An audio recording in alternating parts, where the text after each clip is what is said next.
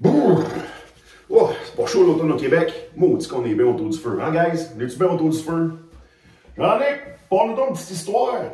Ah, ok. Eh oui, je suis toujours le gars qui compte, raconte les meilleures histoires autour du feu de camp. Quelle belle saison, quel automne au Québec, avec des amis, avec euh, une petite à toi.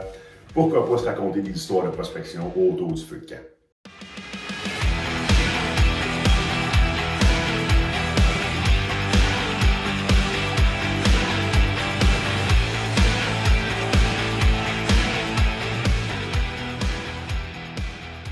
J'ai-tu déjà compté la première journée de prospection?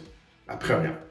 Écoute, je le sais, parce que genre, je, je, je coach beaucoup de monde en prospection. Je le sais que c'est stressant. mais la première journée, que tu te fais une liste de propriétés, puis tu vas cogner aux portes, c'est intimidant.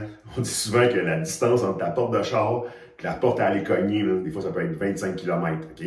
C'est long, c'est tough, ça a l'air difficile de faire ce chemin-là, mais, mais non, il faut prendre son courage à deux mains. On est là pour aider ces gens-là, on est là pour ouvrir une discussion. Bref, c'est pas le sujet de la discussion aujourd'hui, mais la première journée de formation, OK? Donc, écoute, je me cherchais un job. Je venais de, me scraper mon genou la deuxième fois. Euh, deuxième opération, j'étais kinésiologue de formation, je travaillais dans les gyms, donc je ne pouvais pas travailler, me trouver un autre job. Donc, euh, dans les gyms, dans, dans le fitness, que euh, je me suis fait chercher une job comme représentant médical ou représentant pharmaceutique. Fait que j'ai envoyé des CV, puis des CV, puis des CV. J'ai eu des entrevues, deuxième entrevue, puis ça marchait pas. Je me faisais souvent dire que j'avais pas d'expérience route. Bon. Euh, pas d'expérience de- de- dans le pharmaceutique, que pour aller voir les pharmacies, les médecins, etc. Bon, et moi, je vendais, mais j'étais dans les centres de conditionnement physique avant. Bref, c'est pas le but de la discussion aujourd'hui. Ceci étant dit, j'arrive une matinée, par hasard, je tombe sur un poste de représentant en immobilier. Je sais pas c'est quoi, il parle de prospecter hors marché, des propriétés et tout. J'ai aucune idée c'est quoi. Faut que je me trouve une job, garoche un CV. Puis les gars me rappellent. Les gars me rappellent, puis ils me disent, écoute, j'en ai. C'est simple. Simple, simple, simple, simple, simple. On va te donner des datas, on va te donner des informations. Les avis de 60 jours, ça arrive sur de Montréal. Tu vas aller cogner aux portes. Ta seul job, mon gars, là. Ta seul, seul, seul, seul, seul job, c'est de cogner aux portes, puis booker des rendez-vous à ton superviseur, assis avec ces gens-là, ces propriétaires, ces vendeurs motivés. Là.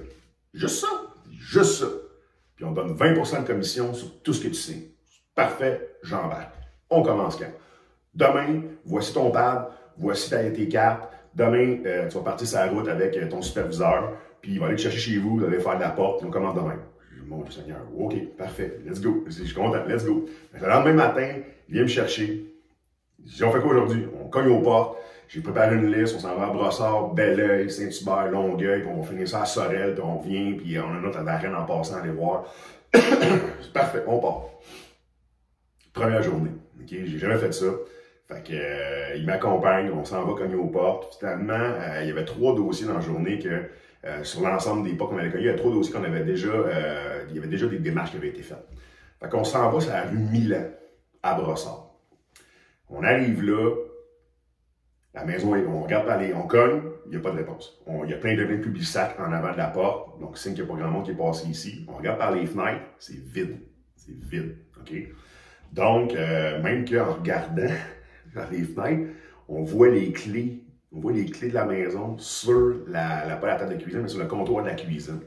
Fait que là, on voit un monsieur qui tend son gazon juste là. Fait qu'on s'en va, on va voir le voisin. Hey, monsieur, qu'est-ce qui se passe avec cette maison-là ici? Ça semble inhabité. Il dit, ben oui, la petite qui était là, elle est partie la semaine passée. Je l'ai aidé à déménager. Je dis, ah, ouais, elle est partie. Ben, c'est pas moi qui dis ça. Mon superviseur, moi, j'étais comme, oh, mon Dieu, Seigneur, OK. Fait que il dit, ah, ouais, elle est partie. Je dis, ben, ouais, elle est partie, là. Euh, ouais, ouais, écoute, euh, pour petite, elle a perdu sa maison. Donc, euh, écoute, euh, elle a pris ses affaires. Puis, elle est partie habiter chez sa sœur. Puis, euh, that's it.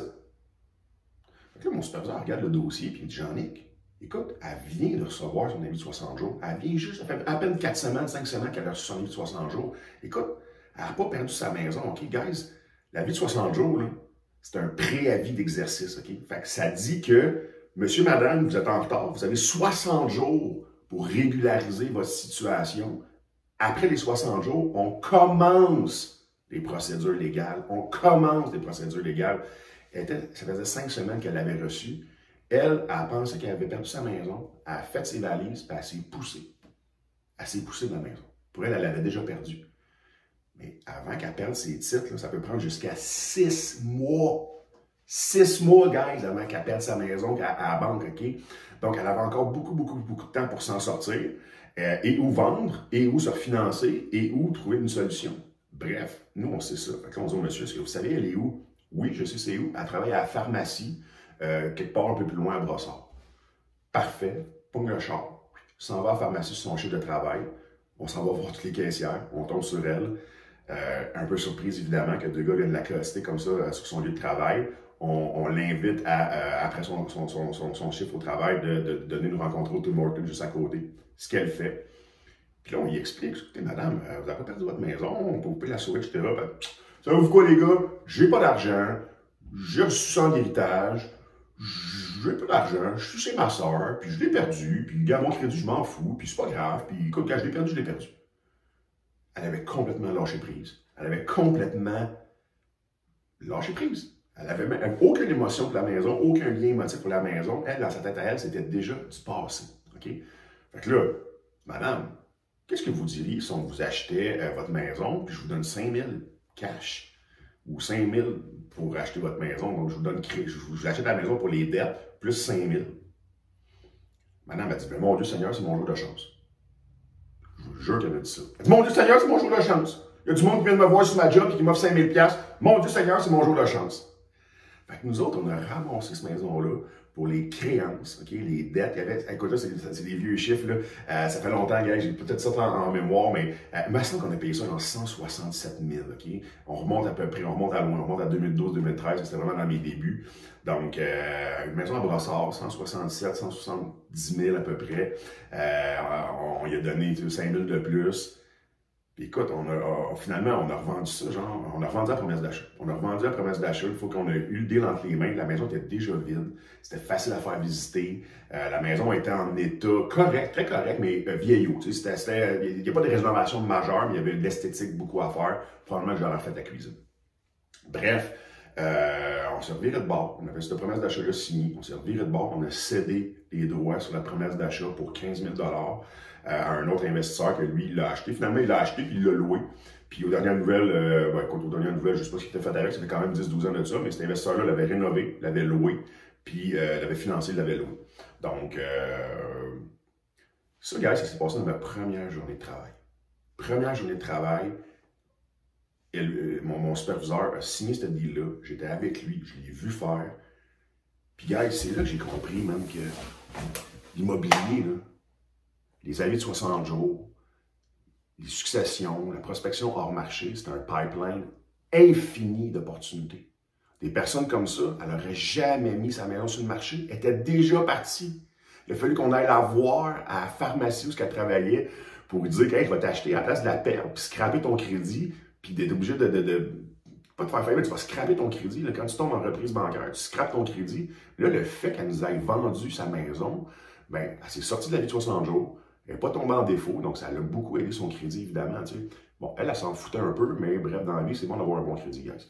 Bref, écoute, on a signé ce deal-là. J'ai fait ça ma première journée de job. Man, la, force que ça a eu sur moi, guys, que j'ai constaté, je suis mon Dieu Seigneur. Des gens de même, il y en a plein, plein, plein, plein. Tout le temps, tout le temps. Récession, inflation, euh, bon moment, mauvais moment, hiver, été, riche, pauvre. Des situations de même, ça arrive tout le temps.